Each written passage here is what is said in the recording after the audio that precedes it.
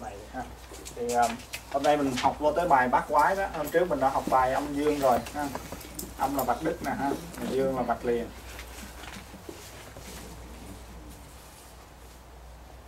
Thì đem âm và dương mà mình chồng lên nhau đó thì mình tạo nên được à, tứ tượng gồm có thái âm thiếu âm thái dương thiếu dương. Thì cái bài đó bài trước mình đã học rồi thì đến ờ, cái bài này mình học vào bài bắt quái đó là đem âm dương mà phối với lại tam tài đó là thiên địa nhân. Thì ba hai cái bạch âm dương mà phối theo ba cái tầng của thiên địa nhân đó thì mình có được tám group tám cái, cái cái nhóm. Người ta gọi là tám cái quẻ hoặc là tám cái quái gọi là bát quái. Thì theo trật tự thường người ta thường vẽ xuống đó là nó đi theo trật tự là càng đoài ly chấn tốn khảm chấn khôn. Và cái quẻ càng nó ba bạch dương đó thì nó thuộc quẻ dương. Còn quẻ khôn ba bạch âm thì nó thuộc là, là âm. Còn ngoài ra đó ba cái quẻ đoài ly và tốn đó thì người ta xếp nó thuộc âm. Và ba cái quẻ là chấn nè khảm với lại kính thì ta xếp nó thuộc dương. Và tại sao một cái quẻ mà có hai hào dương, một hào âm, mà ta lại xếp nó thuộc âm? Mà một cái quẻ có hai hào âm, một hào dương người ta lại xếp nó thuộc dương. Thì ngày xưa ở phương đông của mình á, người ta nhận thấy á, trong một cái đám đông nhiều cái cái thành phần đó, nhiều cái cái cái nhóm đó, thì cái anh số ít trên trị số nhiều nếu mà có hai phe đó thì cái phe số ít nó trị số nhiều trong một cái ờ, quốc gia cũng như vậy. Những cái anh leader những cái anh lãnh đạo đó, nó nằm ở số ít thôi. Trong tự nhiên trong bàn tay của mình mình cũng thấy ngón cái thì có một ngón thôi nhưng mà anh có thể phối hợp với bốn ngón còn lại và để cầm nắm và tạo nên cái lực rất là chắc. Trong khi bốn cái ngón này á nó khó phối hợp với nhau lắm mà nó cần phải có một anh gọi là một cái ngón cái. Thì trong tự nhiên người ta thấy cái quy luật đó rồi và trong xã hội đó người ta cũng thấy đó. trong chùa thì có vị trụ trì trong quốc gia thì có ông vua hoặc là ông tổng thống là ông đứng đầu hết toàn dân. Nó quả thì chúng, quả là số ít chúng là số nhiều, quả thì chúng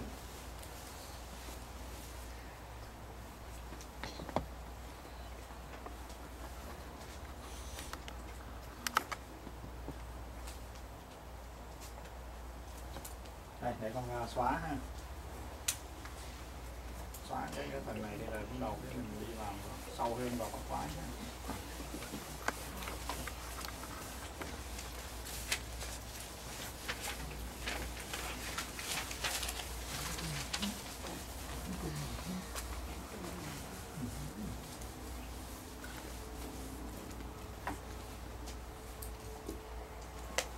thì khi học vào bắt quái ngày nay đó người ta thấy à, hiện nay có hai cái loại bắt quái chính mà người ta biết đến. Người ta tìm học, người ta nghiên cứu. Thực ra thì có những cái loại bắt quái khác nữa. Nhưng hai cái loại mà thường dùng nhất á, một loại người ta gọi là tiên tiên bắt quái, một loại người ta gọi là hậu tiên bắt quái. Thì bắt quái thì có tiên tiên bắt quái.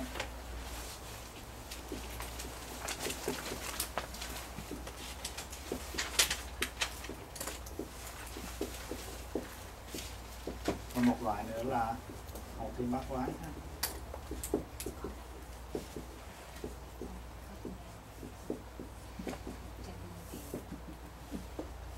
thì cái tiên thiên bắt quái đó, nó có sớm hơn hậu thiên bắt quái tiên thiên bắt quái theo truyền thuyết á, và theo một số sách họ biên chép lại đó, thì tiên thiên bắt quái là có từ thời vua phục hy cái ông quan sát cái con hà đồ đó và cái con long mã đó cái bức lạc thư mà mà trên đó, cái bức hà đồ trên lưng con long mã đó thì ông tạo nên cái ông sáng lập ra cái tiên thiên bắc quái.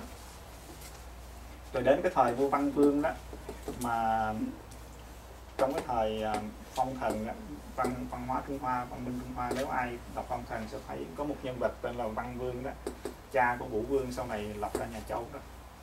Thì khi ông bị giam ở ngục vũ lý đó thì ông nhận thấy là cái tiên thiên bát quái này cái thời của nó đã hết rồi. Và đến cái thời của ông thì nó đã bắt đầu đi vào cái hậu thiên bát quái. Cho nên ông ấy sáng lập ra cái hậu thiên bát quái. Thì người ta cũng tương truyền là vì thấy cái con linh quy đó nó nổi lên trên cái lòng sông đó rồi nó chở trên lưng nó cái cái à, lạc thư. Đó, nó ngược lại với cái hà đồ. Hà đồ thì trên lưng con long mã. Còn cái hậu thiên bát quái thì lạc thư. Rồi từ đó ông sáng lập ra cái cái hậu thiên bát quái.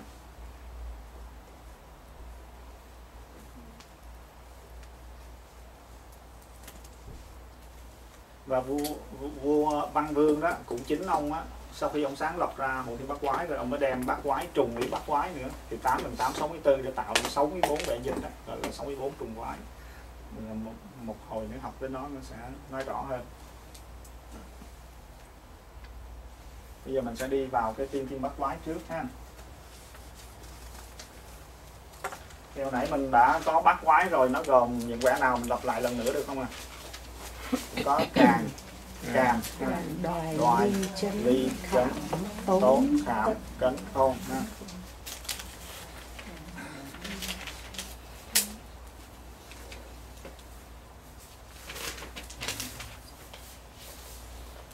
để vừa vừa ha để vừa vừa chắc là được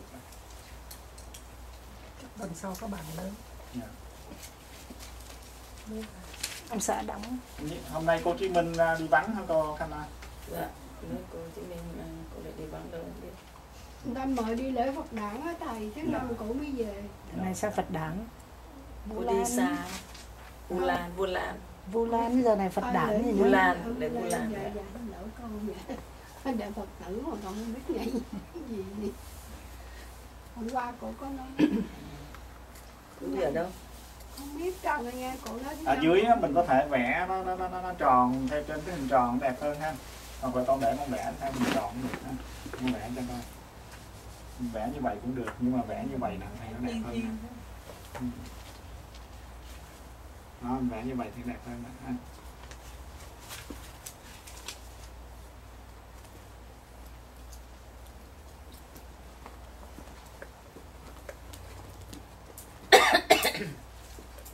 mình có thể xếp cái ờ, tám cái quẻ này trên một cái vòng tròn đó. Đó,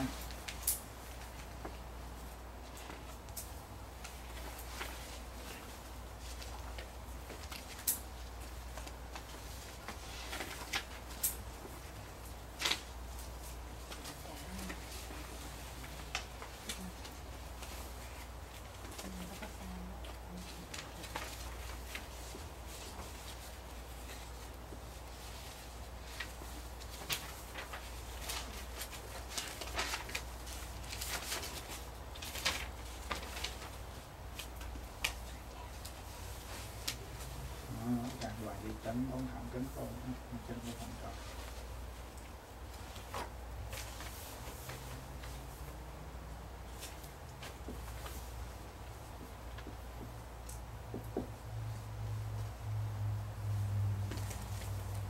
Thầy có biết tại sao ngày xưa người ta cứ nói là càn khảm cấn chấn tốn ly khôn đoài không? Mà không theo thứ tự của mình. À, không, cái đó từ từ sẽ học tới đó thiên cái đó là cái bài sau cái bài này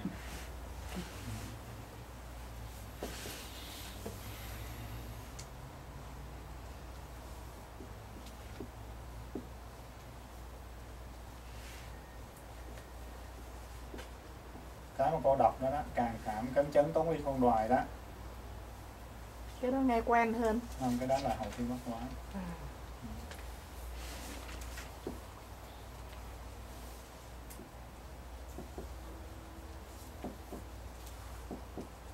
rồi càng đoài ly chấn ha con hàm cấn khô đó là tên của nó nha. Cái này con xóa đi cho nó hơi sức lên chút xíu. Số của nó này ha số 1 số 2 số 3 số 4 số 5 số 6 số 7 số 8 ha.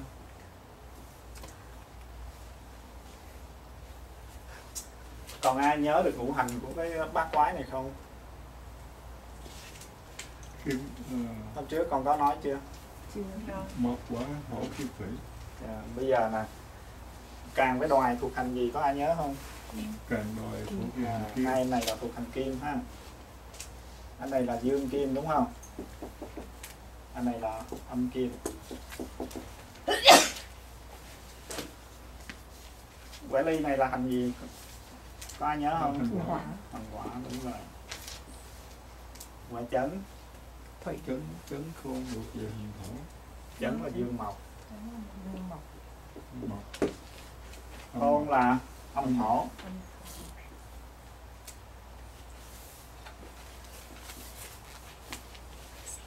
cấn. Cái này là từ trong nhìn ra đó nha. Từ trong nhìn ra. Chứ không phải từ ngoài nhìn vô đâu ha. Cái này có ai nhớ không? Vẽ cấn. Ờ, cấn thổ. thổ. Dương thổ. Vẽ khảm thì nó thuộc thủy ha thủy với hỏa thì nó chỉ có một quẻ thôi.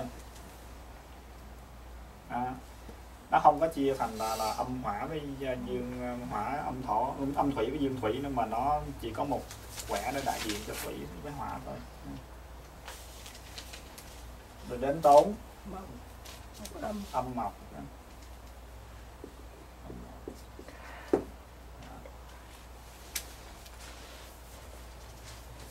mọi người nhớ chắc cái số của nó nha cái số của nó rất là quan trọng vì sau này mình sẽ dùng nó nhiều lắm đó. số 1 là cái chữ kim Dạ, là quẻ ha. cà. dạ đúng rồi là dương kim á quẻ này nè quẻ này là dương kim nó là kim loại nó thuộc kim nó thuộc hành kim mà nó là dương kim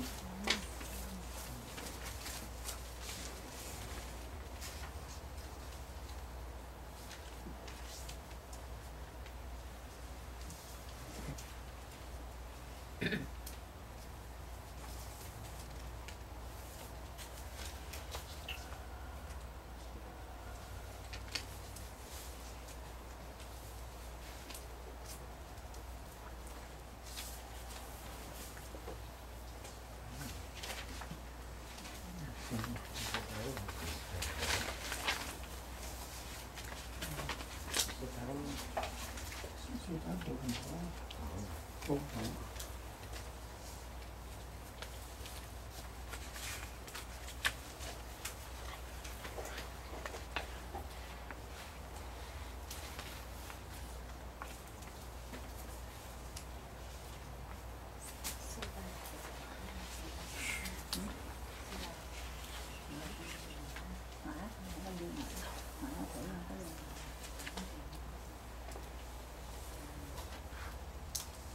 xong rồi thì con sẽ vẽ cho mọi người cái bản ờ, lập thành của bát quái nha. Đến đây nè. Có ai biết tại sao quẻ càng thì mang số 1 quẻ đoài mang số 2 quẻ ly mang số 3 quẻ chấn mang số 4 rồi quẻ tốn thì mang số 5 khả mang số 6 cấn mang số 7 và khâu mang số 8 không? Có ai biết không? Ừ có ai đã từng suy nghĩ về vấn đề này hoặc có từng đọc sách về vấn đề này? Ai có ý kiến gì về vấn đề này không?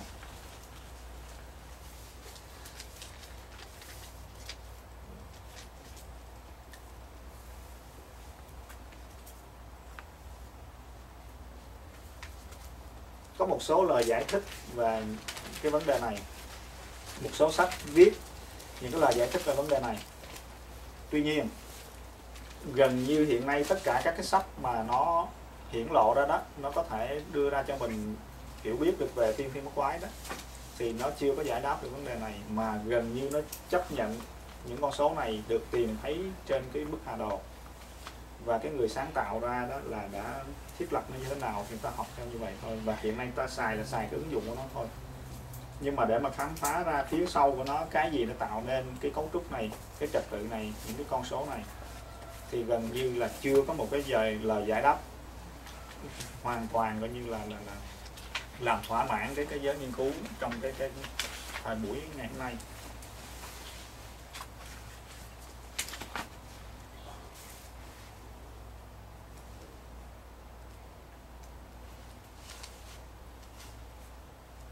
Thế nhưng á nó có lời giải đáp.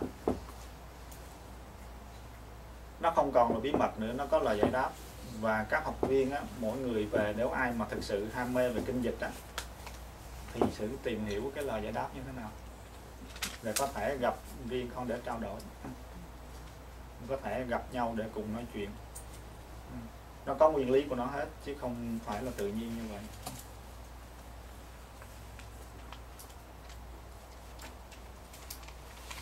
Và cái trục của cái tiên thiên bắt quái đó mình thấy cái trục chính của nó đó ở đây là là có thể là gọi giống như là bắc tây nam này ha. Thì trục chính của nó đó là kim và thổ thì mình thấy nó như thế nào? Thổ sinh kim. Đó là trục tương sinh. Một chút xíu nữa mình học xuống tới cái cái, cái hậu thiên bát quái đó là cái càng cảm cấn chấn tốn ly không đoài mà cô Thuấn có đề cập đó. Thì mình sẽ thấy cái trục bắc nam của ảnh đó cái trục chính của ảnh đó là lấy hai quẻ khảm một hai ly. Thì nó lại là thủy hỏa thì nó là trục tương khắc thì người ta thấy trong cái thời đầu tiên á của vạn vật á của mọi sự việc mà mình biết á thì đầu tiên á là nó cần phải sinh ra. Nó cần phải nảy nở vạn vật lúc nào vậy đó à, nó cần được sinh thành. Thì khi mà nó sinh thành như vậy đó thì người ta mới thấy được là trong cái tiên thiên quái họ muốn diễn đạt cái tương sinh của vạn vật hơn là tương khắc. Mình thấy nè à, đây là đoài với lại cấn nó đối với nhau.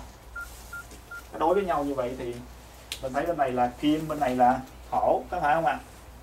Đó, đó mình thấy đó, thổ sinh kim. Còn hai quẻ chấn và tốn nó cùng hành mộc nó cũng tương đồng với nhau. Chỉ có hai này là thuộc thủy và hỏa thì nó tương đối tương tương khắc với nhau một chút. Ha. nhưng mà nó không nằm ở chính phương. Và sau đó thì qua cái hậu thiên bát quái thì cái anh này anh sẽ chuyển lên để mà làm cái trục chính của anh nha thế thì trong sinh nó vẫn có khắc chứ không, không bao giờ nó sinh không đó. Nhưng mà cái cái lực sinh ở trong cái tiên thiên bát quái nó tương đối nó mạnh. Xíu nó qua tới bát quái hậu thiên bát quái mình sẽ thấy cái tương khắc nó mạnh hơn nha. Thầy chữ, Dạ. chữ, um, chữ chấn cũng mộc mà chữ uh, tốn dạ tốn cũng mộc nhưng mà tốn nó là âm mộc Âm ba thấy nè ha ở đây nó có hai hào dương một hào âm thì nó thuộc về quẻ âm. Cho nên là nó cũng là mộc nhưng mà là âm mộc còn chấn á, thì nó có hai hào âm một hào dương thì nó là quẻ dương. Nó cũng là mộc nhưng mà lại là dương mộc.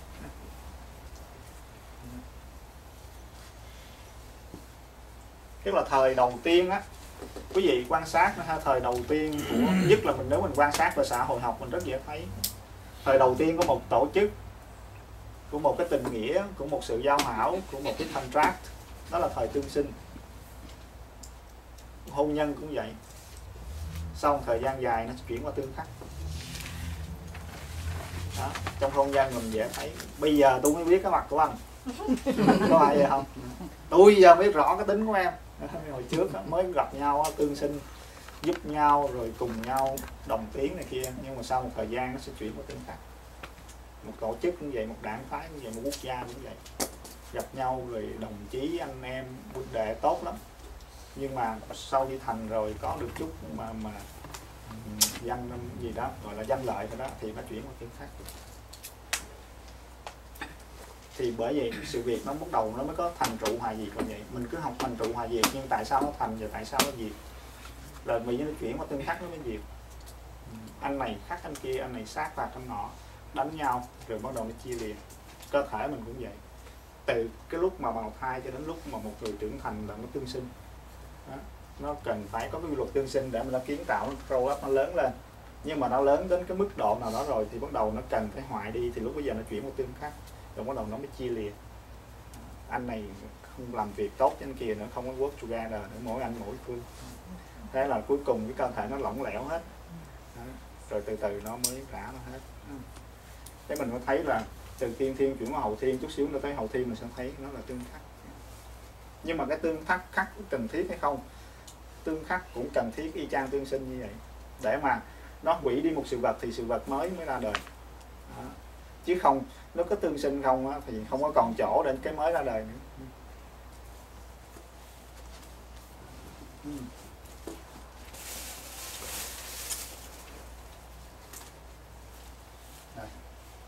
Bây giờ con xóa cái này nha xóa này nha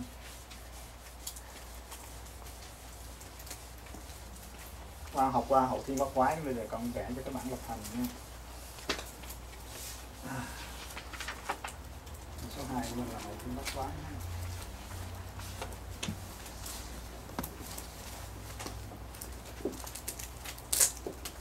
cái người mà khéo trong quản trị á và cái người khéo về đạo à, dưỡng sinh đó thì người đó chỉ kéo dài cái thời gian tương sinh hơn và làm chậm cái thời gian ừ, um, cân khắc hơn.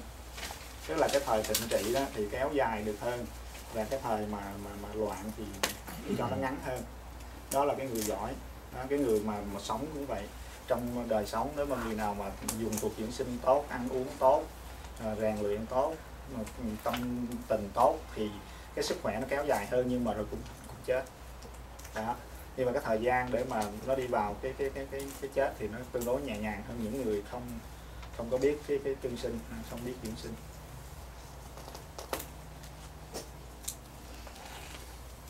Thì mình học dịch là mình sẽ thiên về cái mặt tích cực của đời sống hơn positive hơn. Gọi là um, trong dịch nó có cái quy luật gọi là su cát tỳ hung. Tức là mình sẽ có khuynh hướng đem sự vật nó về phía các các hướng nhiều hơn là là cái hướng xấu. Đó tức là nó cho phép mình có thể chuyển đổi sự vật một cách, một một, trong một chừng mực nào đó. Tuy rằng cuối cùng thì nó vẫn phải thành trụ hoại diệt thành trụ hoại diệt tương sinh rồi đến tương khắc, tương sinh, tương khắc ừ. nhưng mà nó có thể kéo dài cái thời gian tương sinh hơn. Và trong thời gian tương sinh đó, nếu mà mình hay, mình có thể làm được nhiều cái điều mà mình mong muốn hơn rồi sau đó mình chuyển vào tương khắc. Và khi đến tương khắc thì nó cũng nhẹ nhàng hơn.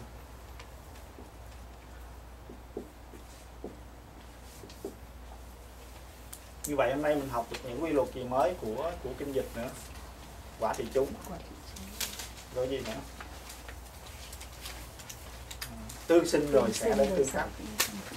à, sau đó thì mình học thêm nữa là à, cái người giỏi mà học kinh dịch mà vận dụng áp dụng đúng kinh dịch á, ứng dụng đúng kinh dịch thì mình sẽ có thể giúp cho cái thời gian tương sinh nó được tốt hơn dài hơn và cái thời gian tương khắc thì nó nhanh hơn. Còn nếu mà người không giỏi thì có thể để cái thời gian tương khắc nó dài quá. Để chờ hoài không thấy xã hội thay đổi gì hết không thấy lương thay đổi gì hết. Kinh tế không có lên gì hết. Đó. nhưng mà ai cũng mong kinh tế lên. Thì học dịch mình mình sẽ cùng nhau giúp để kinh tế nó lên nó, lương lên cái dụ gì. Thì nó phải ha. Thì con lặp lại là đến thời của vua văn vương. Vua văn vương là một nhân vật có thật hồi trước hồi nãy cái tiên nữ bắt quái là nhân vật vua phục hy thì ông mang tính truyền thuyết hơn. Ông mang tính giống như thần tiên nhiều hơn ha. Thì có thể lúc đó là là là là cái văn minh phương đông họ họ thường hay nghĩ những cái kinh điển mà đầu tiên á là do những cái bậc thánh nhân ra đời ha. hậu thiên bát quái là do vua văn vua ra. Cái này là môn vua lịch sử đó. Không có thật đó thì ông thiết lập cái hậu thiên bát quái nó đi như thế này. Con cũng vẽ y chang như hồi nãy nha. Nhưng mà bây giờ con vẽ theo hình vuông đi. Thì nó mang tính uh, học hay hay con vẽ hình hình tròn nữa. Một chút xíu nó giải thích tại sao mình vẽ nó trên một hình vuông.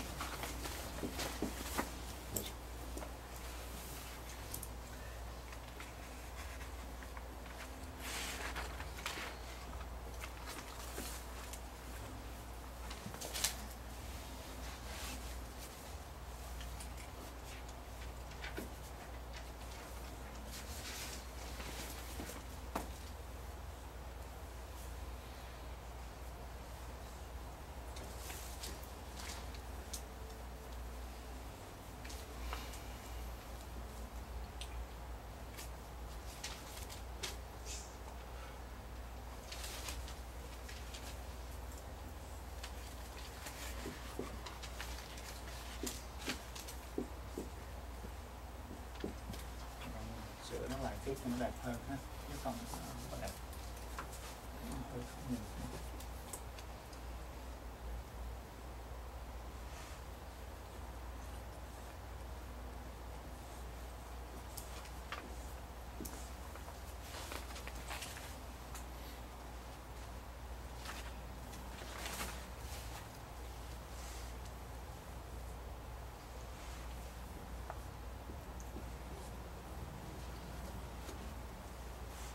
Có ai nhớ ra được giùm con cái này là quẻ gì không?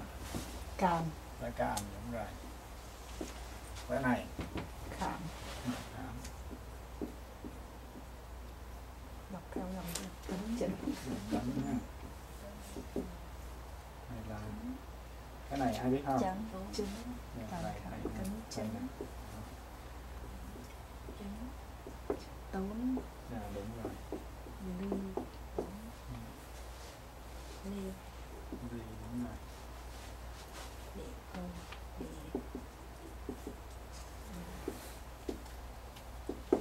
à, cho cho con được nói chỗ này chút xíu ha. Thì nay có một số các nhà nghiên cứu kinh dịch á. À, người Việt Nam á mới người thuộc hệ phái Việt Nam á. Khi ông nghiên cứu quẻ ly đó thì họ nghĩ rằng là cái kinh dịch này có thể là cái văn minh của người người Việt. Lý do tại sao? Ta thấy là ly là lửa đúng không nè? Nhưng mà người Trung Hoa thì gọi là hỏa hoặc là hùa. Thì không có liên quan đến chữ ly đó nhưng mà trong khi người Việt Nam gọi là chữ lửa đó, hoặc là một số các cái dân tộc Bắc Việt người ta nghiên cứu, người ta thấy có người thì đọc là lửa, có người đọc là lửa đó, thì nó nó liên quan đến cái ly hơn. Cho nên từ cái chữ lửa mà qua chữ ly thì nó hợp lý hơn là chữ chữ hỏa của người người Trung Hoa mà qua chữ lửa. Mà mà qua qua chữ chữ ly, tức là nó vẫn còn cái âm L là đó, âm L là thì đây một trong những cái khá thú vị ha. Nhưng mà thực ra thì nó cũng thuộc về cái nghiên cứu ở mức độ là là cái suy, cái tư tưởng nhiều hơn là cái cái cái những cái bằng chứng đích thực tại vì cái thời nó xa lắm rồi thì mỗi dân tộc bị mình có những cái gần gũi với nhau đó thì, thì khi tìm hiểu nguồn gốc mỗi người họ có những cái cách giải thích khác nhau tức là mình bảo cái này của Việt Nam chế ra phải không? dạ đúng rồi một số các người khi họ nói cái cái cái cái bát quái này của người Việt Nam đó thì họ họ tìm hiểu trên một số các cái vẽ thì họ thấy ví dụ như cái vẽ này nè đó. thì từ lửa qua ly thì nó hợp lý hơn là từ hỏa qua qua qua ly cái hỏa với ly nó không có có bà con về cái mặt ngữ nghĩa về về mặt ngữ âm không có. Không có liên hệ với mặt ngữ âm. Tuy ly nhiên á có theo phải là phương Nam không? Ly Dạ, là đúng, đúng phương rồi. Nam khảm là phương Bắc không? Dạ đúng rồi. Tuy nhiên khi mà con nghiên cứu mấy cái này nè thì ừm, nhiều đó thì con vẫn nhận thấy là nó là cái thuộc về cái văn minh của phía nam sông dương tử nhiều hơn có nhiều tộc việt trong đó việt nam mình là một cái tộc nhỏ trong cái nhiều cái dân tộc việt mân việt áo việt này chứ áo việt là quảng đông mân việt là người phúc kiến á. Mình là âu việt lạc việt. Thì nó cái đó như ngày xưa của Việt Nam hết rồi hai bà trưng á. À, với lại nó chung với nhau. Sau này thì các cái tộc Việt khác sát nhập vào Trung Hoa nhưng mà nó còn rót rớt lại được có mỗi người Việt Nam nó nó còn độc lập thôi nhưng mà những cái dân tộc Việt khác họ vẫn có tiếng nói vẫn giữ lại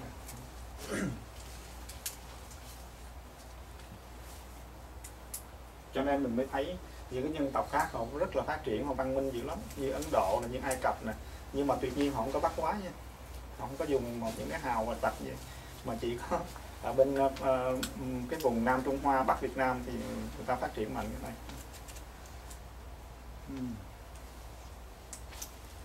Thì đó là một cái hướng khác nghiên cứu về lịch sử của kinh dịch nghiên cứu về tư tưởng của kinh dịch đó. đi vào triết học thì nếu ai có hứng thú hơn sẽ tìm đọc những cái tác phẩm nghiên cứu được tại sao mình không sắp vô cái bắt quái mà mình sắp vô cái hình vuông? Vậy dạ thưa hồi nãy con sắp cái kia là hình tròn đúng không? Ừ. cái kia là con vẽ trên một hình tròn. Còn cái này con vẽ hình vuông á thì cái kia nó dương cái này âm con cố tình vậy. Tức là ừm, trời tròn đất vuông mà. Nhưng mà không phải vuông là vuông vuông vức theo cái kiểu như mình nói hình vuông đâu. Nhưng mà ý muốn nói hồi xưa á, là mình thấy cái bầu trời nó khum khum nó tròn đó còn mình sống trên cái mặt đất nó phẳng á, thì hồi xưa người ta nghĩ là nó vuông, hoặc là mình làm ruộng, là những cái miếng ruộng nó vuông đó. Thì cái cấu trúc vuông á, là nó nó mang tính là tĩnh hơn là cấu trúc tròn. Tròn nó động hơn cho nên nó dương tính nhiều hơn. Để mình vẽ cái thiên thiên bát quái trong cái tròn nó sinh còn cái này là bắt đầu anh qua tương khắc rồi anh cần cái sự ổn định. Anh khắc chế lẫn nhau để anh tạo sự ổn định. Khi mà sự vật bắt đầu nó nó nó tương sinh, nó nảy nở, nó phát triển mạnh quá rồi đó thì lúc đó cái quy luật tương khắc sẽ trở nên là cần thiết hơn để giữ cho cái sự phát triển nó không có qua khỏi cái cái cái cái, cái sự cân bằng. Bây giờ mình quay trở lại cái hậu thiên bát quái của mình ha. thì khi mà qua tới ờ, hậu thiên bát quái đó thì người ta à, vua văn vương ổng xếp quẻ ly và quẻ khảm vào cái trục chính ha. Thì khảm là phương nam cô nói đúng đó ha à, ly là phương bắc ha. phương Bắc chứ ly phương Nam. Dạ. Đúng rồi. Và khảm là phương bắc đó ly là phương nam à. rồi nếu khảm và bắc ly nam rồi đó thì chấn và đoài là hướng gì ha? Ờ, đông tây. Dạ đúng rồi. Chấn là đông có phải không à? À, đoài tây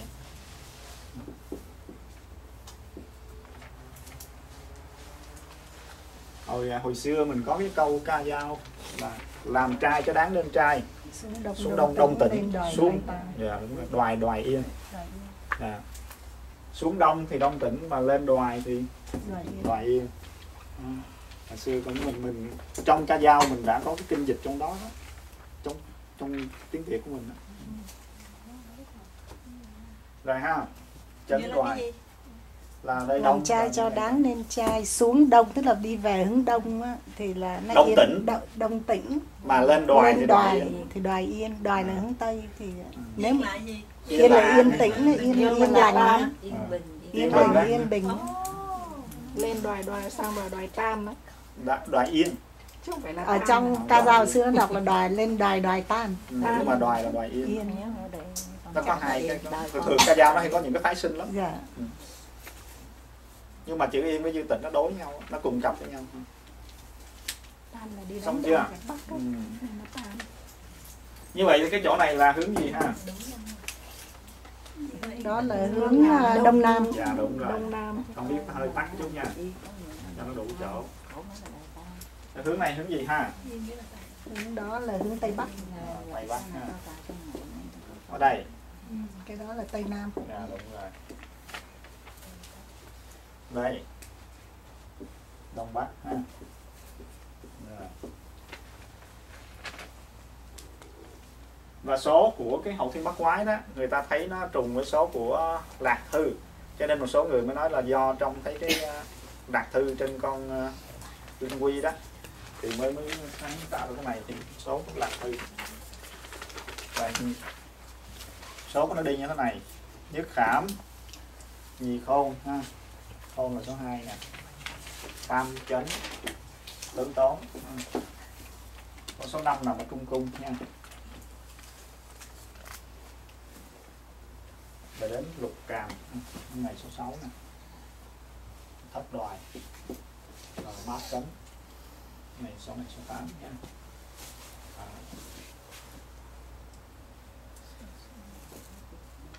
thì quý vị á, nhận thấy nè anh cần tương khắc để mình tạo những cái sự cân bằng. Cái đặc tính của hậu thiên bát quái nó tương sinh sau khi nó đã xong rồi nó đủ rồi thì nó sẽ đi về cái hướng tương khắc để giữ sự cân bằng. Cho nên bây giờ mình cộng tất cả các chiều của cái đồ hình này lại đi. Thì mình thấy nó như thế nào? Ai cộng tất cả các chiều cộng ra đều 15 hết. Ừ, chiều này cộng cũng ra 15 nè. Chiều này cộng cũng ra 15 nè ha. 15 15 hết Ủa sao mình đánh số nó không có theo vòng mà nó lại tùm lum vậy? dạ cái đó không sao hết à, um, đây cũng là một trong những cái từ từ vì người ta nói á người ta chấp nhận một cái tiền đề là những con số này người ta thấy trên lưng của con linh quy rồi người ta sao xuống thôi. Nhưng thực ra nó có ý nghĩa của nó hết á. Và những người nào mà thật sự thích kinh dịch á thì tiếp tục tìm hiểu. À, hồi nãy có một cái thông quốc là tìm hiểu vì sao trong cái tiên thiên quái đó là càng một đoài hai ly ba chấn bốn đó. À, thì đó là một một cái homework còn homework thứ hai là tại sao qua tới cái hậu thiên quái thì các con số nó đi như cái trật tự như thế này. Cũng có nhiều sách nói lắm. Ừ, nhưng mà mình tự tìm hiểu mình chính mình thì rất là hay. Rồi bây giờ mình qua đây mình thấy trong cái trục mà đối xung với nhau đó thì cái quy luật gì là chính đây? Thứ nhất cái trục chính của nó trục bắc nam là lửa với nước thì tương gì? Tương khắc dạ, tương khắc đông tây. Đối lập. À, cũng cũng tương khắc luôn. Có phải vậy không? Bên này là âm kim nè. đoài là thuộc kim nè bên này là thuộc mộc nè. Có phải vậy không? Đó. rồi đông nam và tây bắc. Cũng tương Mộc khắc luôn. kim tương khắc. cũng tương khắc luôn và hai cái hành thổ nó đối xung với nhau nó cùng một hành nhưng mà nó vẫn có bị tương xung với nhau là bởi vì nó là nó âm và dương. Nó vẫn đối lập. Âm thổ dương thổ đối lập. Vẽ ly số mấy đây? và quẻ ly á thì số 9 Năm. số 5 là ở trung ương nha còn số 9 quẻ của ly là 9 À, ba là trung ương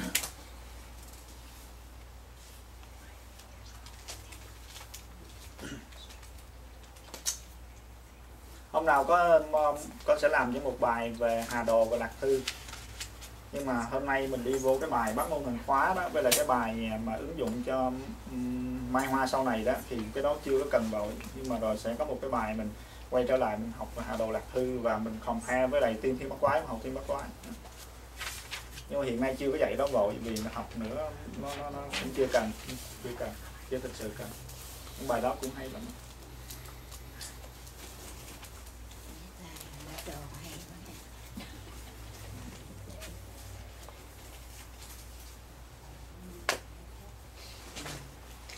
Đấy bây giờ mình bấm trên tay nè, cái tiên thiên bắt quái mình không cần bấm trên tay nhưng cái này mình cần bấm nè. Thì càng ở đây nè, càng đoài nè, ly nè, chấn nè, tốn khảm cấn côn nè. Ừ. Càng nè đoài nè, ly, chấn nè, tốn khảm cấn côn nè. Ừ.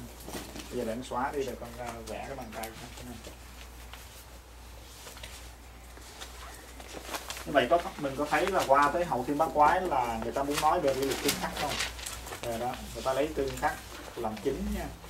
Để mà cho sự vật nó không có tiếp tục mà nó bùng vỡ nữa ha. mà nó vừa phải thôi trong cái trật tự trong cái cân bằng.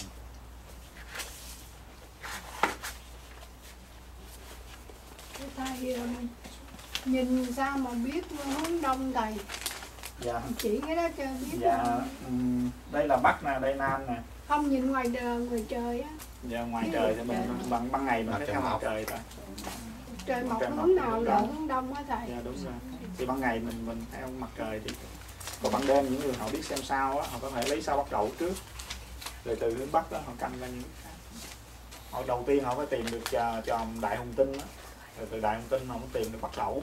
Rồi từ bắc đẩu thì bắt đầu họ mới tính ra là hướng bắc rồi họ tính hướng nam rồi đông tây họ tính người ta chỉ là đứng đối diện mặt trời á là hướng, hướng đông. Rồi sau lưng là hướng tây còn hướng bắc là tay mặt hay tay trái thầy tay trái. Dạ, nếu mà đứng đối diện với mặt trời á.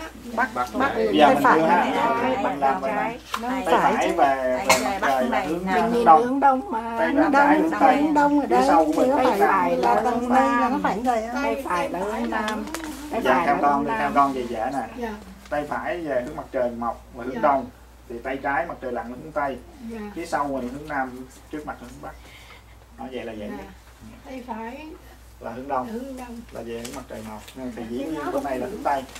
Rồi, thì phía sau mình là nam trước là thì bắc. mình có nhìn trên bản đồ là biết ngay. Dễ á, tay phải Dạ. ờ, đối diện với mặt trời là hướng dạ đông. đúng rồi là mặt trời mọc á là hướng đông. tay phải chỉ về mặt chỉ trời mọc về hướng mặt đông. trời hướng đông. Mặt trời mọc buổi sáng á. Dạ. cái chỗ hướng đông hướng tây thì biết rồi nhưng mà còn bắc nam thầy. Dạ.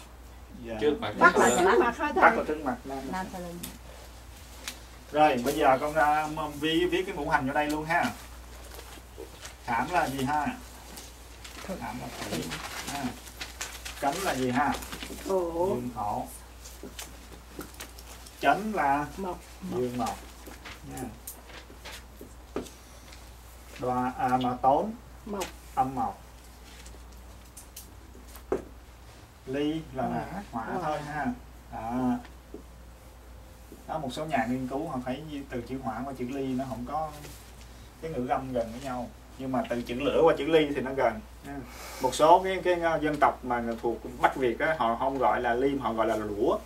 Mình thì gọi là lửa đại khái như vậy. Tức là họ thấy gần nhau đó. Cho nên họ mới nghĩ cái này phải là của cái dân tộc đó của dân tộc Bắc Việt chứ không phải của của dân tộc phương Bắc. Còn cái uh, cái này. Thổ. Âm thổ thổ nhưng mà thuộc về âm âm thổ. Kim. Rồi kim. Là âm hay dương đây? Âm kim. À, còn này.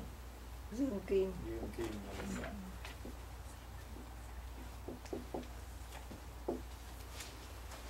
vì sao mà qua tới hậu thiên bắt quái các cái quẻ nó xếp theo trật tự này và có con số của nó đi như thế này và nó chiếm giữ những cái phương hướng như thế này. Nó có ý nghĩa của nó hết, nha. Nếu mà ai thật sự ham thích á, thì về vẽ cái này ra, xong rồi ngồi đó, suy nghĩ thì có thể tìm hiểu được cái gì đó mà học bằng cách như vậy đó, thì mình hiểu về kinh dịch rất là sâu. Sau này mình luận các cái quẻ đó thì rất là hay. Ví dụ như sự việc xảy ra thì mình biết nó là đi về hướng nào, đi về phương nào, đi bao nhiêu thước hoặc bao nhiêu dặm. Ví dụ như thế đó là, là hồi xưa anh đã tính được đó người ta, hiểu rất rõ về, về bát quái đó thì bất cứ ở đâu cũng có hậu thiên bát quái hết á. Trong người mình cũng có trong phòng này cũng có. Bất cứ ở đâu cũng có tiên thiên bát quái hết á. Trong người mình cũng có ở trong phòng này cũng có. Trong một quốc gia cũng có. Ở đâu cũng có hết. Cứ hệ còn có không gian thì còn có bát quái tại vì nó là tám cái hướng mà ở trong phòng này thì hướng bắc của phòng của mình sẽ là hướng khảm phía nam của phòng sẽ là hướng hướng ly là hậu thiên bắt quái. Hướng đông của phòng sẽ là gì? Sẽ là chấn và phía tây phải là đoài rồi. Có phải vậy không? Thì những cái khác còn lại nó cứ theo như vậy. Cái này xem phương hướng thì dễ rồi còn cái tiên thiên thì không có thấy phương hướng Dạ tiên đó. thiên là bởi vì lúc đó anh tương sinh ảnh à, đang hình thành sự vật thôi. À, anh chưa có hình thành đến cái cái đối lập nhiều vì vậy cái cái sự đó nó không có quan trọng lắm. Nhưng mà những con số của tiên thiên rất là quan trọng. Sau này mình sẽ sử dụng con số của tiên thiên để mà mình lập quẻ đó.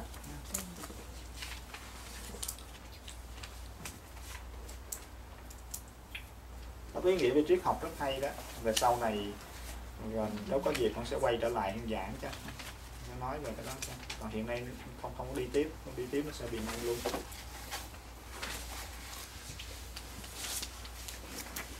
thực ra nãy trong tiên thiên con cũng có nói quẻ càng nó thuộc phương nam mà quẻ thôn nó thuộc phương bắc đó nó đi với hà đồ đó. Thì những cái kia mình cứ theo cái đó mình giống nó được hết. Nhưng mà nó nó không nhấn mạnh lắm về phương hướng của của tiên thiên. Qua hậu thiên nó nhấn mạnh hơn nhưng mà cái số thành của anh tiên thiên thì lại rất quan trọng. Còn vì sao nó quan trọng? Nếu mà có dịp sau này thì những ai có duyên sẽ được học tiếp. ha thầy nói lại cái bàn tay vẽ là bàn do tay. đó bây giờ bắt đầu này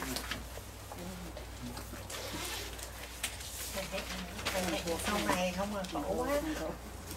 Tại vì nếu mà ngay lúc này đi vô là một là nó không có giúp cho cái bài sau. Hai nữa mà đi vô nữa đó là quý vị đây sẽ, sẽ gần như là bơi nó không mất bạc tóc có đồ đẹp mới Không được. Mấy món trỏ mà nó cao quá rồi đâu bị ngay thì start out với con giữa first step của thầy. Để từng trưng thôi nha.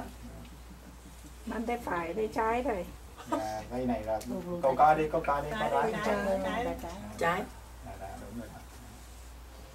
có thường á, cái bàn tay trái là cái bàn tay yếu.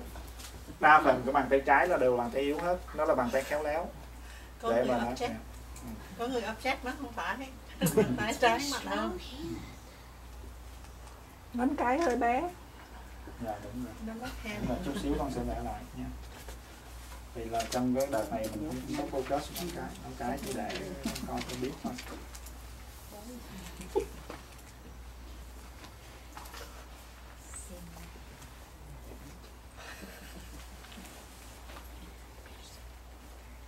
bàn tay nào không đi lại cậu có thể bàn là mình vẽ được được đây dạ đúng rồi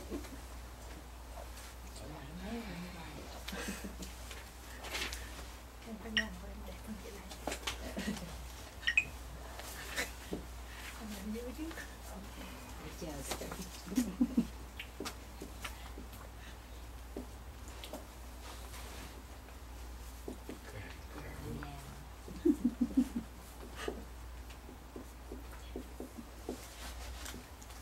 Đặt rất nhiều vô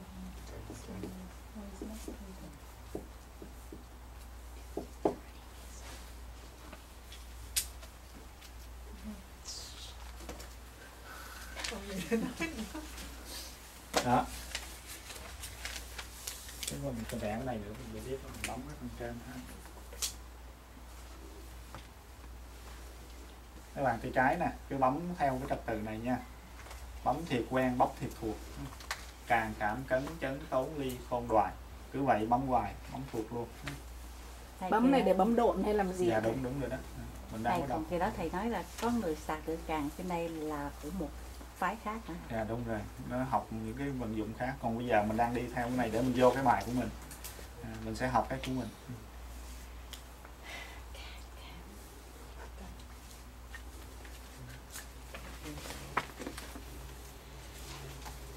này nó nhiều cái này là hậu tiên bát quái còn cái Dạ. tiên thiên bát quái tiên bấm thiên bát quái thì mình nhớ cái số của nó thôi. À, không cần. Dạ đúng rồi.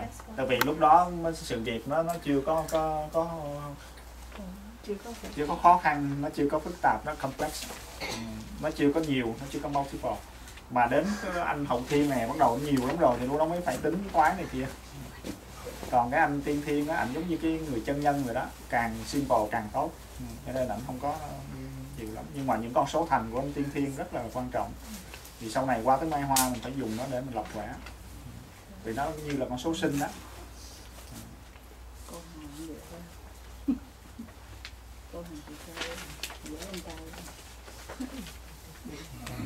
Thì đường Đây, đó à, lớp mình bấm thuộc hết chưa? Nó khác cái bàn tay thập nhị địa chi nha. À, thập nhị địa chi nó đi hết bốn ngón luôn. Còn ở bàn tay này nó đi ba ngón thôi nha. Ba ngón này đi vòng dưới rồi nó lên cái đỉnh. Dạ đúng rồi dạ đúng rồi.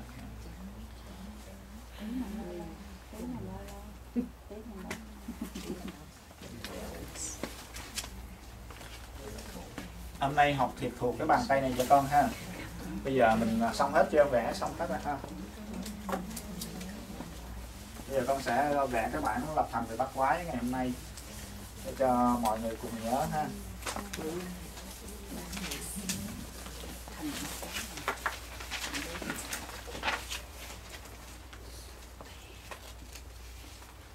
Thứ bốn nè. Thứ vẽ kỹ Thứ rồi, bây giờ xuống cái này mình chia 8 ha. Ồ, ở lại xuống sai rồi. 8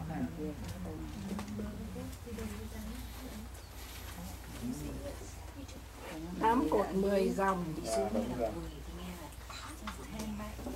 thì sẽ lại tám hai mươi tám đúng rồi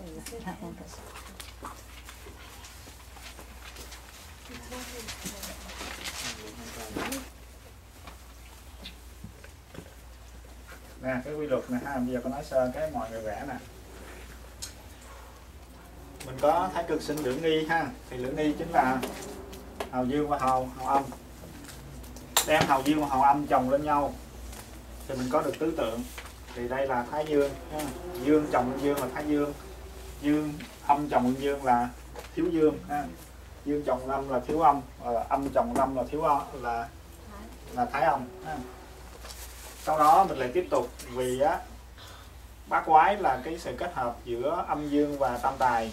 Người ta thấy là chỉ có âm dương không thì chưa đủ, người ta muốn lấy âm dương kết hợp với tam tài thì nó tạo nên cái trường hợp là có được 8 group, mỗi group nó gồm có 3 vạch thì lấy dương, chồng lên dương là ra được quẻ càng. Âm, chồng lên hai cái hào dương này thì mình được quẻ đoài. Lấy quẻ ly, chồng lên cái cái group này thì mình được à, là lấy cái hào dương chồng lên cái group này thì mình được ly lấy. Cái này chồng lên cái này. Đúng. Lấy cái này chồng lên cái này nè. Cái này nó đang có sẵn rồi. Rồi lấy âm chồng lên nó thì ra được cái gì?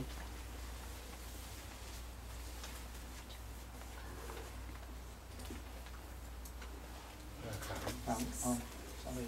Bây giờ con nói tiếp ha. Bắt đầu lại từ đây ha cái này chồng lên cái này thì ra ra càng đúng không?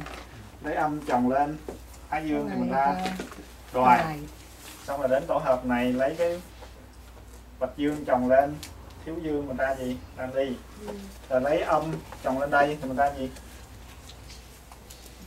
Âm chồng lên đây trước này lượng bồn là Chuẩn, đúng rồi. Xong rồi lấy dương chồng lên đây ra gì ạ? Trong lên thì nó ra là phúc uyển nè ra tốn dương chồng đây đó. rồi lấy âm chồng đây thì nó ra gì ạ? Khả lấy chồng đây. Lấy dương chồng đây trước chứ.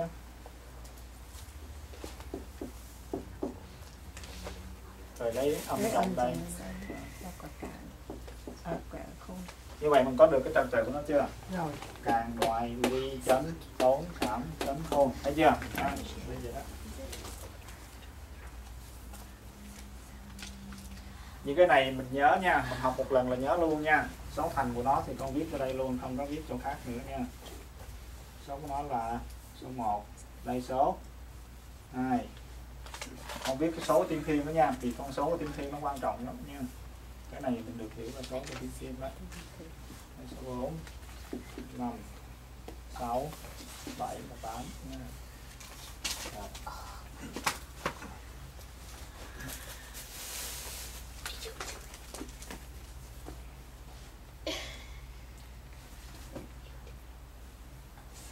ở trong ờ, vũ trụ đó thì vẽ càng tượng trưng cho trời ha. Vẽ khôn tượng trưng cho gì? Đất. đất đúng rồi dạ. đoài là cái hồ ha. Ly là lửa. lửa đúng rồi. Chấn. Là là sóng sét. nha sóng sét. Nhưng mà sóng đúng hơn nha. Rồi tốn là gió. Khảm nước. Là nước. Cấn là núi. Đó. rồi ở trong gia đình á thì càng là tượng trưng cho ai biết không ạ? Cha. Là cha đúng rồi. Cha thì không là mẹ. Là mẹ đoài nhà hồ là ao hồ đó hoặc cái đầm của nó nhé rồi đoài. Là con gái út ha. Gái út. Ly. Là con gái giữa ha. Gái giữa đó gái thứ đó. chánh là trưởng nam ha, con trai lớn.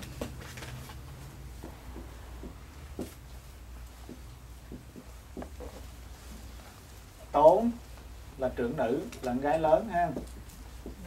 Dạ. Rồi, chút xíu con sẽ nói quy luật của nó. Khảm là trai giữa. Con trai mà ở giữa đó. Cấn là con trai út. Tức là người ta nói cái cuộc giao duyên giữa cha càng và mẹ đất là mẹ khôn thì được 6 người con đó, ba người con gái ba người con trai. Thì có trưởng nam, Nam, trưởng, trưởng nữ. thứ nam à, thứ nam thứ nữ và út nam út nữ. Rồi à, nhìn cho con ở đây. Ở đây là hạt đoài nè. Thì cái vạch đức cái vạch âm nằm bên trên. Mà mà con gái út mà trong khi con gái lớn á, Lớn. thì cái vạch âm này nằm dưới. À, ở đây người ta muốn nói một cái quy luật của dịch à, là cái âm thấp á, quan trọng hơn cao nha đây là một trong những quy luật nữa. Sau này khi mà mình học mình đọc vẽ dịch á nó cũng đọc từ dưới lên. Đó. và ta thấy thấp á thì nó quan trọng hơn cao. Cho nên cái văn hóa của phương, phương đông đó văn minh phương đông là nó tôn trọng cái đức khiêm hạ. Và nó rất ghét cái cái gọi là cái ngạo mạn đó cái ngã mạn cái ờ, tự cao tự đại đó là phương đông nó rất ghét. Đó, mà ở đây tôn trọng cái khiêm cung khiêm hạ là từ những cái này ra hết nè à, từ những cái cái cái cái quy luật từ trong kinh dịch mà nó ra cái lịch sử tư tưởng của trung văn minh phương đông đó nó từ đây ra hết đó. Và nó rất thích trung chính. À, sau này khi giảng cái đó nó sẽ nói đến cái trung chính nha.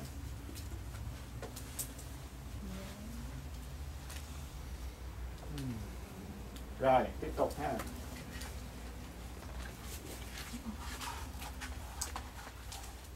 Bây giờ mà nói về ngũ hành giùm con đi này là dương kim đúng không ạ? Đây. Âm kim đúng rồi. Ở đây. Hỏa rồi. Hỏa thôi đúng rồi. Này. Dương mộc dương mộc âm mộc âm mộc thủy cái này cái gì thầy dạ con trai út. Con trai út. Dạ đúng rồi. Tổng này. Dương thổ này dạ. vậy là vẫn đủ ngũ hành ha. Vẫn có đủ âm dương có đủ bát quái hết thấy không? Đó, mình học tới hôm nay là tất cả các quy luật nó được hội nhập cho đây hết ha. được hòa hợp trong này hết. Rồi ở trong cơ thể của mình á càng là ở vùng nào? Càng là cái đầu. À. rồi. À, khỏe khôn là cái gì? Là cái bụng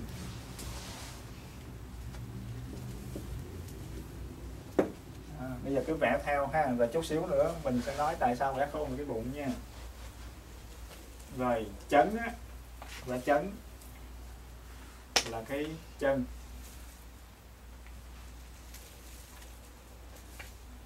Và chấn của mình động này chấn là chân nha nó cùng cái âm nó cũng dễ nhớ. Cái chân của mình. Rồi. Vẽ cấn á, cấn là cái tay. Ừ cấn vào cái tay. Đó, đó. xong rồi cái lỗ tai. Là quẹt hãm lỗ tai nha. Lỗ tai. Rồi nè con mắt. Con mắt là ai? Là ai biết không? Là quẻ ly. Quẻ ly con mắt nha. Rồi cái miệng. Ngoài đoài. À. rồi xong hết chưa?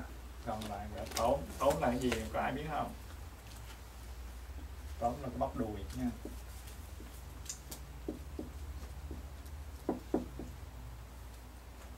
Sau này mình học mai hoa đó mình sẽ thấy có một cái quẻ mà quẻ tốn này nó bị khắc này nó bị quẻ càng khắc á cho nên mới đoán là bị thương ở bắp đùi. Bị tốn là cô gái đó là gái nè. Thì mới đoán đó, ông ông Triệu Khang Tiến mới đoán là cô gái đó đã bị con ngựa uh, tung vô rồi ngã rồi mới bị thương bắp đùi. Vì lúc đó là có cái càng kim nó khắc âm tốn đó. sau này nếu mình học cho mai hoa mình phải cái đầu mình tròn càng là bầu trời tròn. Ở trên cao thuộc là tôn quý cái đầu của mình nạp vô cái quả càng thấy hợp lý không? Hợp lý. Vì sao cái cái bụng là quả khôn có ai biết không? Tại đất cái bụng nó nuôi dưỡng mình. Dạ đúng rồi nó chứa bạn và chứa vạn vật. Cái bụng mình cũng vậy. Cho nên trong người mình có hai nơi quan trọng nhất. Cái đầu cái đầu với lại cái ở đây có ai tập qua um, vipassana không? Thiền phòng xẹp á. Phải không? Giáo dạ đó hoặc là những phương pháp khí công những phương pháp thở cũng là cái mai với lại hít thở cũng xuống với cái đan điền. Cũng lên cũng xuống đó. Là quẻ càng quẻ khôn. Một chút xíu nữa nếu còn giờ con sẽ nói làm sao gọi là chiết khảm điền ly theo phiên dịch à. rồi sau là, là là mình chuyển từ hậu thiên bát quái ngược về thiên thiên bát quái ha. rồi. Rồi à, à, cái tay mình thuộc về khảm vì đó, theo đông y đó là thận nó khai khiếu là tay đó. À, nếu ai mà sau này học là biết là nó có kinh mạch đi đó. Rồi à, tốn là bắp đùi ha tốn là vì nó như gió nó mềm nó bắp đùi nhiều thịt nó mềm đại khái vậy ly lửa mà, mà là con mắt. Có ai biết vì sao con mắt lại quy nạp cho quẻ ly không? Vì ly là ánh sáng. Con mắt mình là cái nơi mà sáng nhất. Nó có thể nhìn thấy vạn vật luôn nó tương đồng với quy nạp của thôi. Còn cấn là tay. Thì cái tay mình quỳnh quỳnh nó na ná như quả cấn. Cấn là tay. Chấn là chân. Đó, đại khái như vậy. Còn cái miệng là đoài nè. Đấy, nó đứt ra nè ha. Là tượng hình. Rồi. Về thú vật đó cái này cũng cần nhớ nè ha. Vì hồi xưa mình là văn minh chăn- nông nghiệp đó mình chăn nuôi mình nuôi trồng rồi nhiều cho nên con về súc vật ta hay quy nạp lắm. Thì càng là con ngựa. Con ngựa nó chạy quá ra chạy luôn. Ha. nó chở đồ nặng nữa cái gì nó rất nặng. Rồi con quẹ khôn là con trâu. Có ai biết vì sao quẹ khôn là con trâu không? Văn minh lúa nước á con trâu nó cày ruộng á. Ừ, nó có cái sự liên hệ với nhau hết ừ. về quả rồi chấn là con rồng. Con rồng. Con rồng là nó thuộc về biến hóa. Thì quả chấn là nó biến hóa nhiều lắm.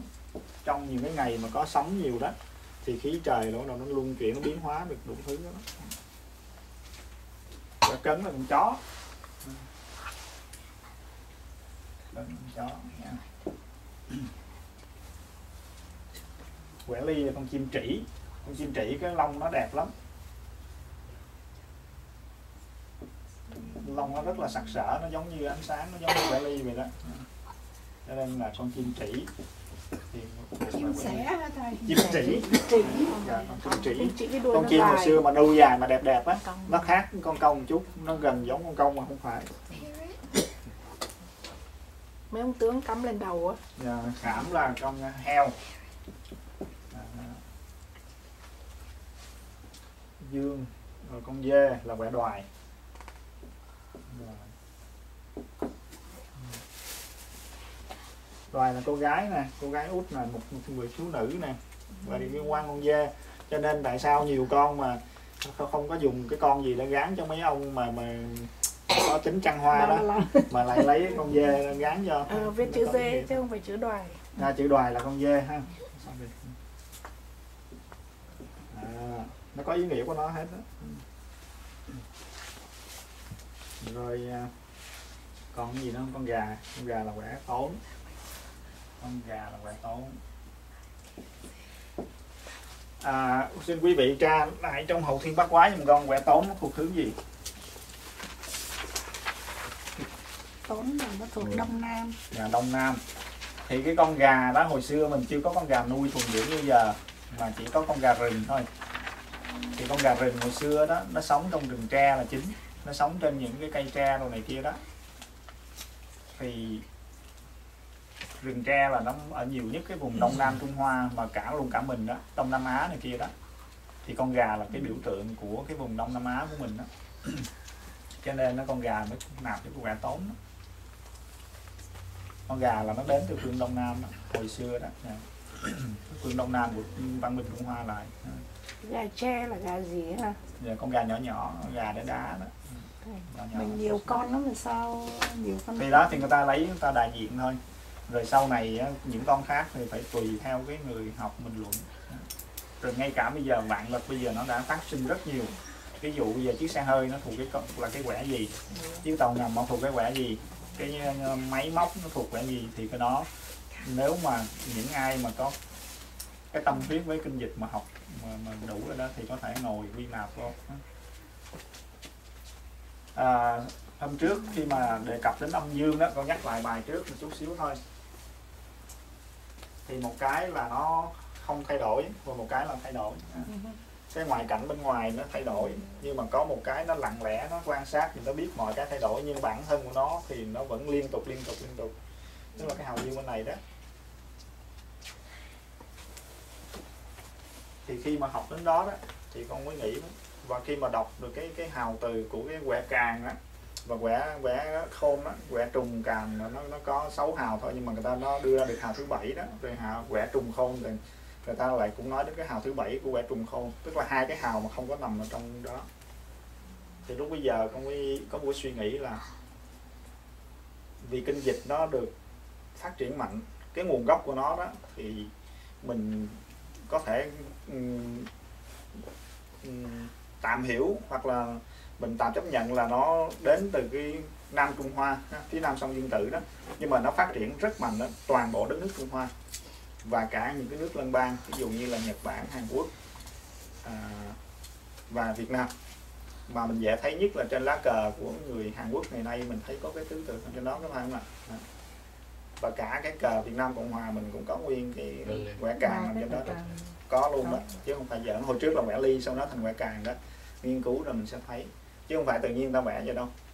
Rồi xong rồi thì bây giờ con mới à, quay trở lại là khi mà à, khi mà mình nghiên cứu á, thì mình mới thấy là phải chăng kinh dịch có thể nói được tư tưởng Phật giáo trong đó.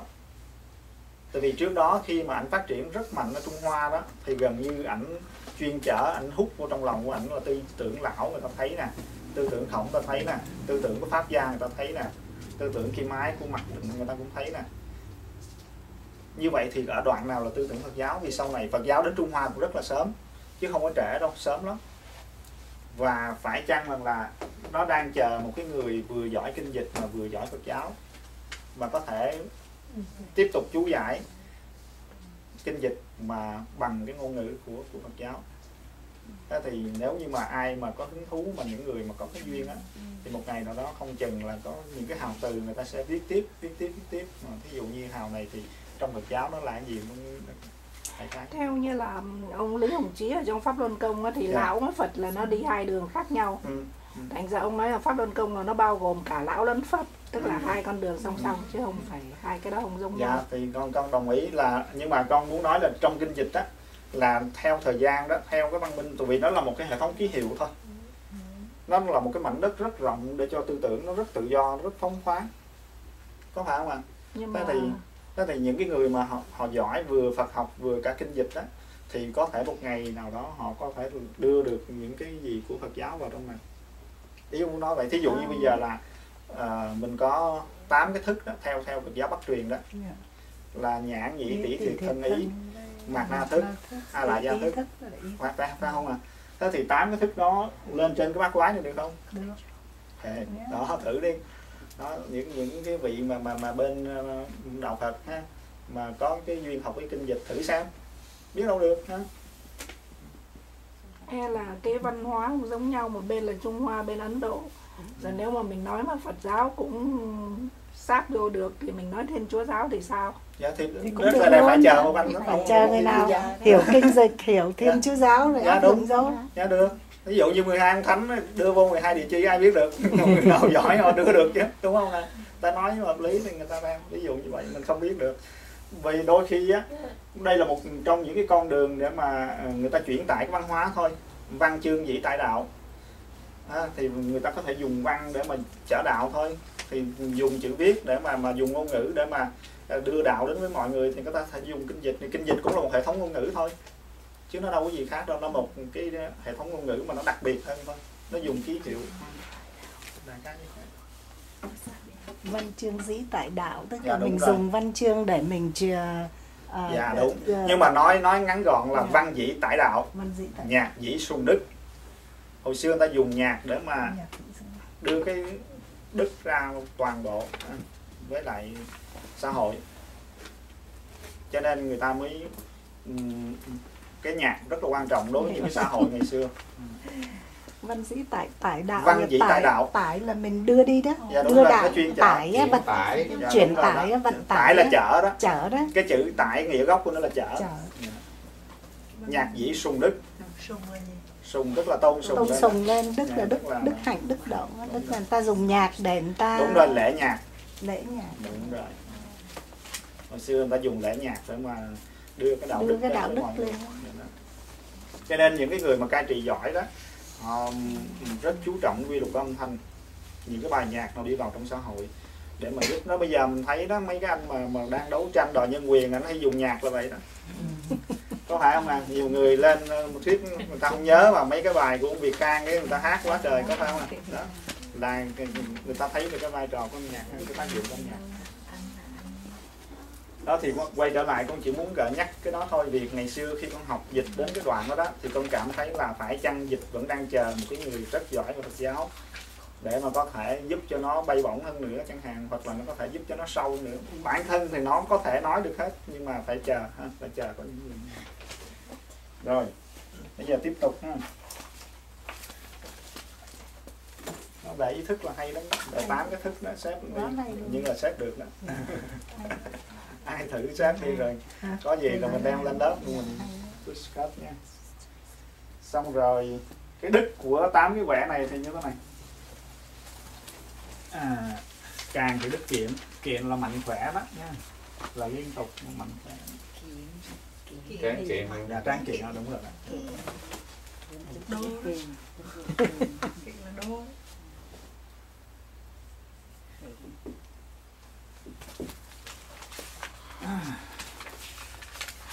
rồi quẻ khô đó là thuận thuận nha. Có ai biết ở nhà mà mỗi lần mình làm cái việc gì mình hay hỏi ý kiến mẹ trước không? Đa số là hỏi tình cảm. mẹ là thuận. Gần như cái gì mẹ cũng từ từ rồi cũng cũng có thể được hết à có thể làm được. Đúng rồi đúng rồi. Một hồi nói với mẹ một hồi nói là thuận. Ha có phải vậy không à thuận là nghĩa vậy là nghĩa là đồng ý dạ là thuận theo đó là thuận tòng đó. Đồng Ờ. thuận đồng thuận nó thay Dạ, ra đúng rồi đó dạ. chấn là động. Mình dễ thấy quá rồi.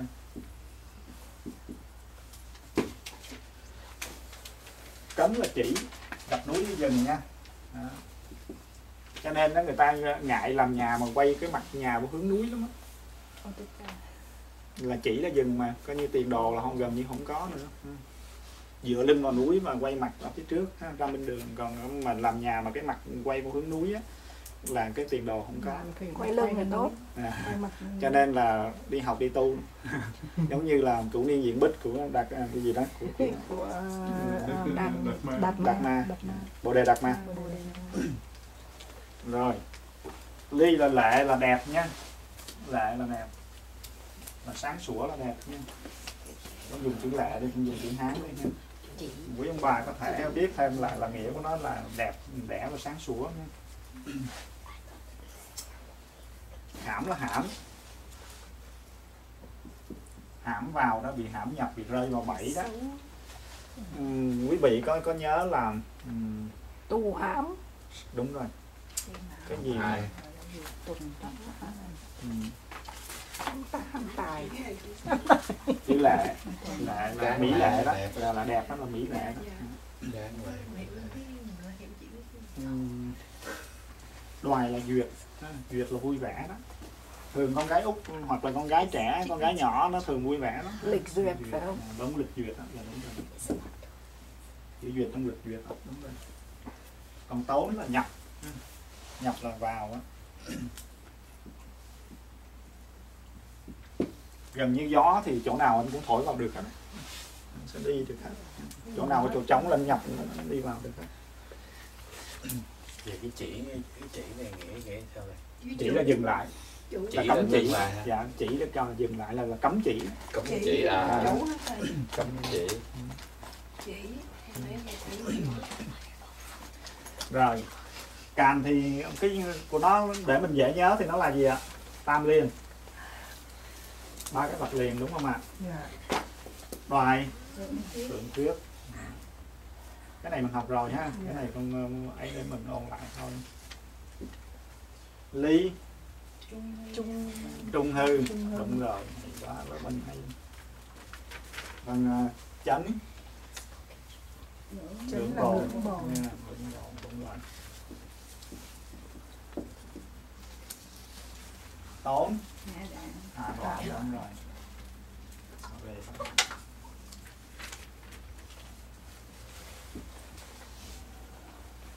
rồi khảm trung mãn Trung mãn. rồi trung mãn phúc phúc uyển đúng rồi phúc uyển hoặc phúc hoãn cũng đó ha phúc hoãn đi hoàn nghĩa là gì á là cái chậu là cái chém á á ăn cái chén người ta làm xôi đó hồi xưa là mấy cái bánh in là đó. À, cái chén úp á à, thôn lục loạn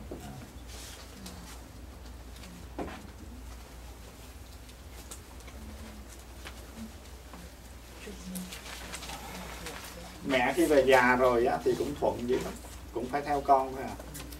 à con nói sao thì mẹ nghe vậy là cái cái vì già yếu rồi. Ừ, cho nên đức phật là phúc oản oản là cái chén á. Mẹ hay chiều ý con á nên con hư Dạ, tại mẹ. dạ đó. đúng. Cái đó đúng luôn. Cái đó đúng luôn.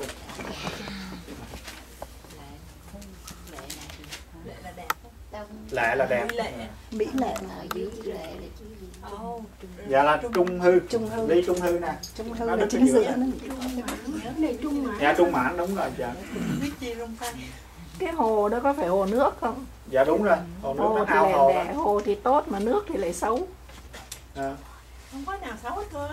Dạ thực ra là không có. À, đúng rồi. Hãm đó hãm là xấu hãm Đúng tài. rồi. trong đúng rồi mà trong kinh dịch nó cũng có nghĩa xấu tại vì cái lòng nước á nước chảy phía dưới nó mình khó dò cái đáy nó này mà rớt vô là mình chìm luôn. Lưỡng bồn. Lưỡng bồn là cái chậu ngửa đó, đó, đó. bồn là cái chậu đó bồn tắm. À, đúng rồi đó bồn đó.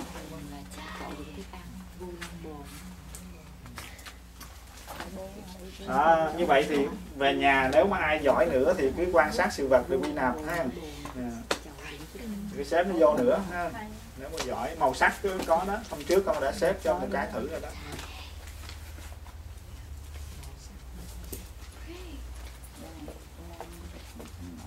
cho con xem coi hôm bây giờ là mấy giờ rồi ha? 95 9 giờ 15 rồi ha. Rồi.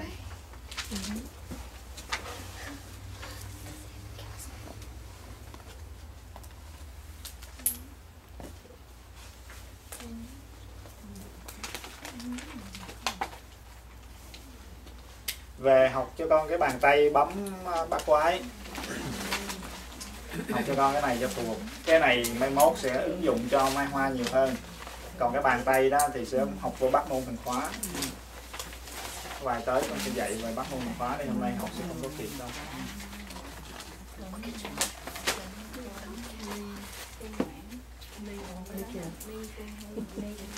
Hiện nay á hiện nay cái này người ta gọi là hệ nhị phân nè hệ đếm nhị phân nè.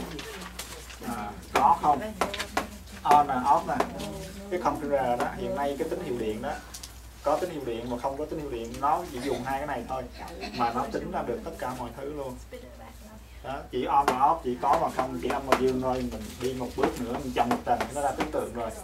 Nó nói được tới là thái dương nè thiếu dương nè rồi à, thiếu âm và thái âm rồi. Chồng thêm một mét nữa thì nó ra được tới bát quái rồi mà bắt đầu nó diễn đạt biết bao nhiêu thông tin trong lòng rồi mà mình thấy hợp lý.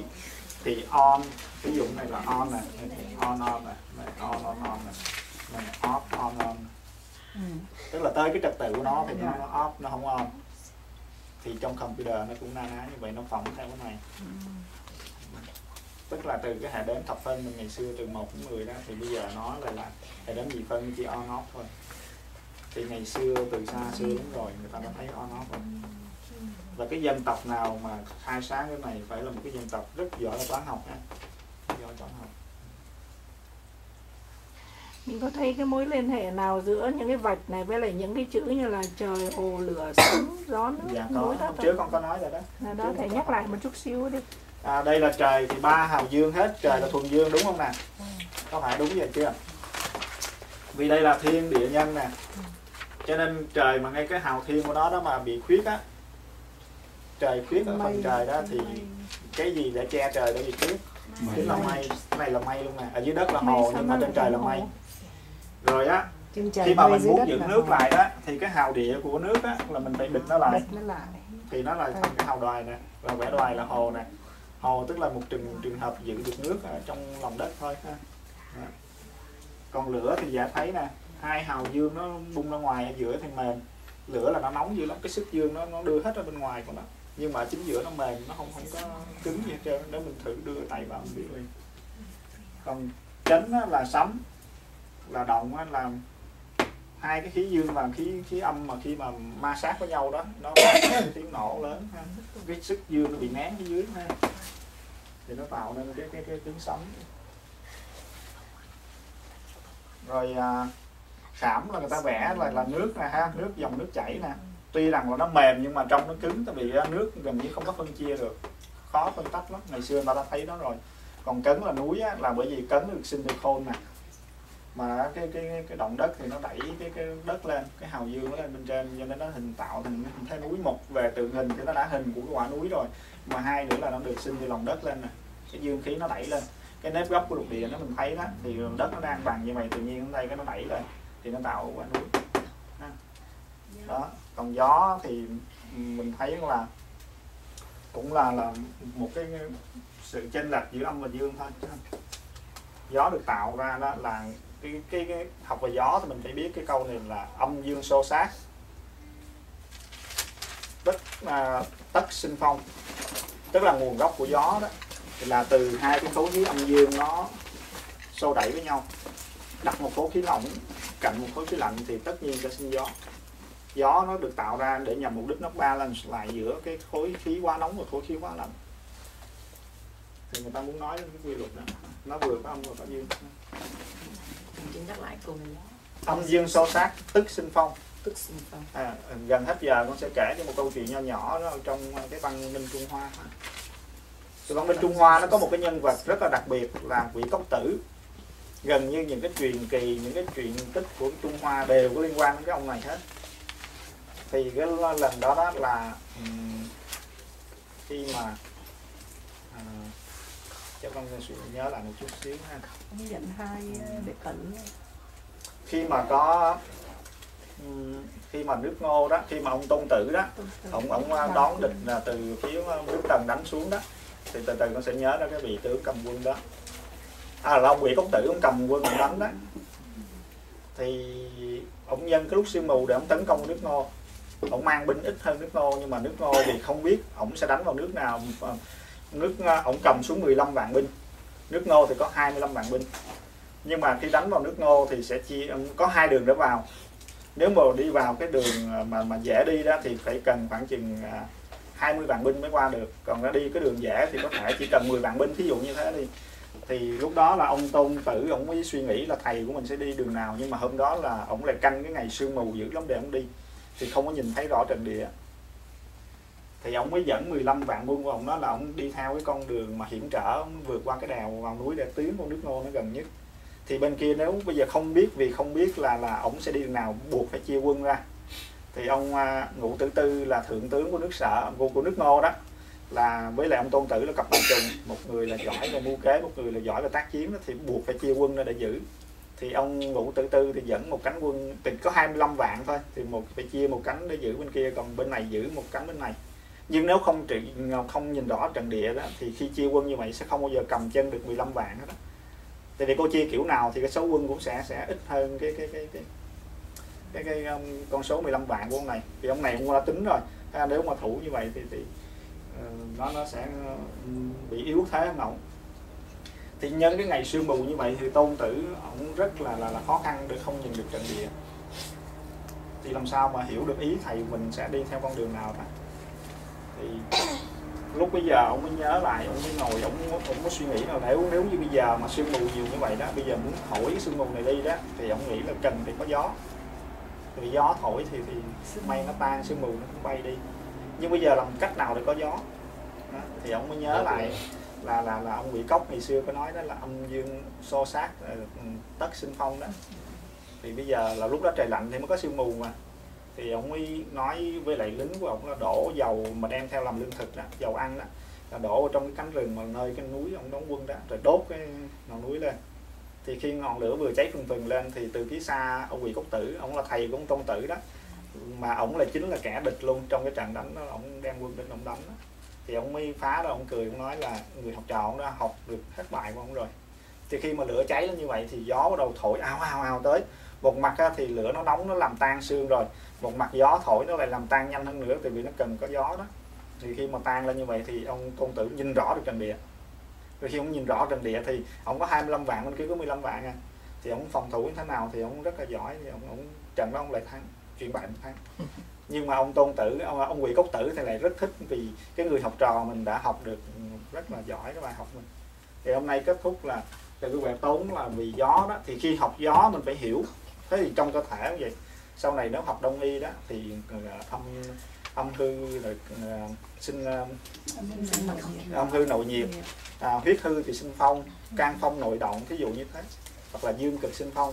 Thì tất cả những cái gì mà liên quan đến phong trong cơ thể đó bệnh trong cơ thể người ta nói là đa phần là do phong sinh lên đó. Thì lúc đó mình phải hiểu được ý nghĩa của phong thật là rõ thì lúc đó mình mới có thể giúp để mà trị bệnh được. Cái cao huyết áp cũng có liên quan đến phong.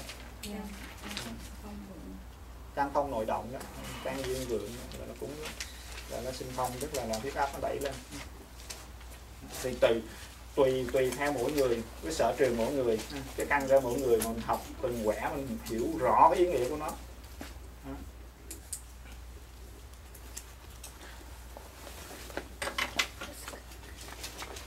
Đó, người ta vẽ mặt trời nè. Đúng mà bây giờ người ta cũng thấy mặt trời là một khối khí nó không có rắn như là trái đất và đồng thời sức nóng nó đạt hết tất cả tứ phía luôn. Ở đây người ta vẽ hay lắm người ta hồi xưa nó hiểu.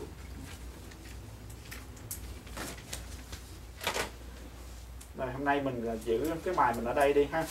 Rồi, rồi, rồi cho ngày hôm sau nữa thì bắt đầu học tiếp. Thầy kể chuyện hay quá thầy. Con hô thầy.